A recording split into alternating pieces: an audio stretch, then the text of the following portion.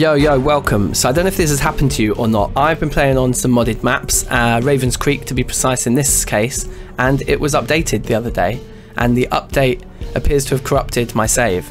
Uh, you may have had this happen to you, let me show you. So everything appears to be okay now. You can see we've been playing this character for 17 days, 13 hours. We've got quite a few skills leveled up already.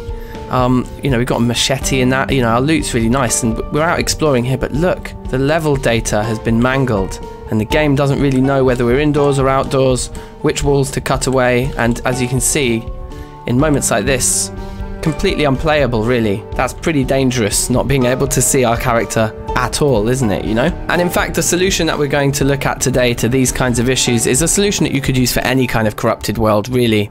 Let's be honest, the important thing here is our character and all of these skills, and the fact that we're 17 days in perhaps is something that you would also want to um, not lose, you know? I mean, really funky stuff going on here. If you look, it's like that. It's like we're on the wrong floor or something. It, it's cutting away the wrong floor. And then the roof, yeah, it's uh, pretty funky. And here's our base location, just to show you as well some more of the products. But look, I mean, very strange, uh, very strange kind of drawing of the of the level going on. You know, I mean, look at this. Like, then we come into the actual room here itself. See the back of the room's in shadow, and when we go back there, then it's like it's like it thinks the wall is there. Like things have been moved in the update of this map. And you know, we've got a great base here, like well, we did have. It's uh, not very usable now. Look at all these MREs out front. Got loads of drinks. Everything's Everything's happening. That's a zombie coming up the stairs, is it? Excuse me. Better just uh, deal with you. But it's it's borderline playable. Well, it's, it's not playable. It's just not playable. It's too too scary, too risky to be out looting as I showed before. So, so what can we do here? Well, I've done some research and I've got a solution, um, which we're gonna we're gonna look at now. First thing I'm gonna do, just to be a little clear on uh, where our character is, Let's log out with our character kind of in the middle of the of the car park out here, just so there's a bit of room around them, um, so that we kind of are in an outdoor space, but I think also crucially we're on the ground floor, so that if our position of our character as we try to preserve them into a new world changes a little bit, we're at least on the ground floor, and we won't like spawn in like on the third floor with no floor underneath us. So in build 41 at least, but I think in older versions it's the same. You want to go to your users uh, folder and the path's up here. And then Zomboid will be in that folder. And then in here there's a saves folder. Now in here you've got all your different game modes. We were playing on Apocalypse difficulty and here's our save. So first things first, let's create the new world that we're going to move into. So we want a Ravens Creek spawn again. And the character that we, we create is, is not important here. We're going to be replacing them. So we just jump in with a blank character. Doesn't really matter. Okay, so here's our spawn. Interesting. I've never seen this spawn before. Presumably that's because this is part of the new Ravens Creek update that I just haven't I haven't played on yet. So that's cool. That's exciting. But I just wanted to kind of walk around and see what happens here. I've Okay, right. So just, we've just got bit, we've just got scratched or bitten or something. Doesn't really matter. We'll get rid of this one.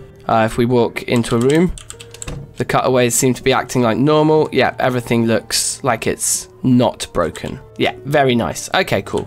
Well, anyway, we've got a lacerated head, so time to trade this character in for our for our proper one, eh?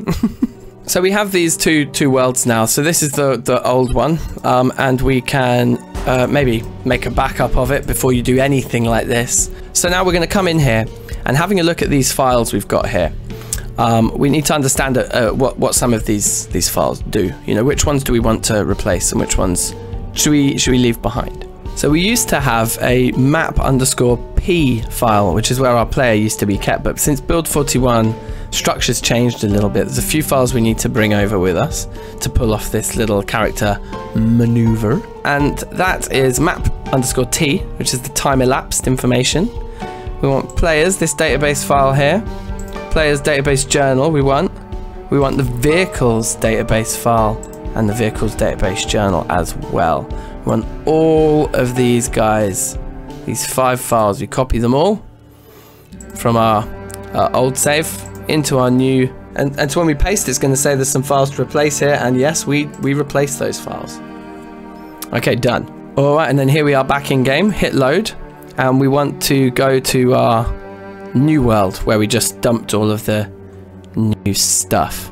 And as you can see, we have our character. We've survived for 17 days. The date at the top there is indeed the 27th of the 7th now.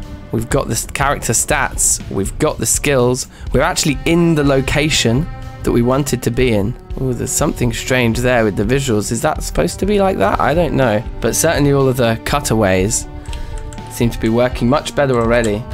See, that door's now locked. And yeah, the, the stuff that we had out here isn't here. The containers are empty. But our inventory came with us. So, you can see exactly how you could actually use the character as a bit of a mule here. You can see the location that the character came in at is perfectly fine. This visual glitch along here, I'm not sure what that is. I've not witnessed this before when doing experiments, so maybe maybe this method isn't foolproof completely, but it seems pretty good to me. We have a world that is as old as our old world. Um, admittedly, some of the places we originally looted, for example, like this greengrocer, is full of loot again. Yeah, so there's a lot of rotten food in here, but at least it's rotten. So the time elapsed has affected the uh, the stuff in here, you know? I'm not being very careful with this character because I know we can just load a new one in. I'm just trying to show you guys. Um, but essentially we have preserved the run. And all you'd need to do is use the character like a bit of a mule back and forth between the worlds, filling up backpacks, filling up containers, taking even fridges with you if you wanted. You could dismantle beds and bring those with you. Any items that you have in game that you can put on your character's person can be transferred back and forth like this. So you can you can bring all your loot with you too. You'd probably want to spend some time just re-clearing the area here. Like I say, the zombie population files, we could mess about. I haven't actually messed about with transferring those over, but we could mess about with transferring those over to see if we can bring all the dead bodies uh, on the street over, because um, we're going to have to re-clear Ravens Creek really um, the, the town in there. As you can see, the zombies all across this car park that weren't there before, and the bodies that were here before, are, you know, in my old save aren't there anymore. Admittedly, like I say, we're kind of duping loot a little bit because all the loot we already brought into our base is back out there in the world for us to go grab again. So there's a few trade-offs here, but ultimately um, you know, my character's only 17 days old, so in my next stream, I think I'm probably going to start again anyway, um, with a brand, a brand new run of Ravens Creek, seeing as we have to clear the area again anyway. We're only 17 days in. If I was 3, 4, 5, 12, 18, 36 months in, then I would be I would absolutely be using a method like this to continue my playthrough, you know. You you can hopefully use this method, and this is a build 41 proof method. Um, like I say, in previous builds it was just map underscore p, but this is the build 41 method. So I hope you enjoyed the, the little tutorial here, and I hope this helps a few people save lost worlds, as it were. Thanks very much for watching. I'm DankNStein. Do subscribe, uh, or drop a like, and uh, we stream Project Zomboid on this channel very, very regularly. So drop by and say hi on one of the streams and watch me, you know, die. You can find out how I died every week. Um, yeah, I hope to hope to see you in the stream soon. All right, thanks for watching. Take care, people. Peace.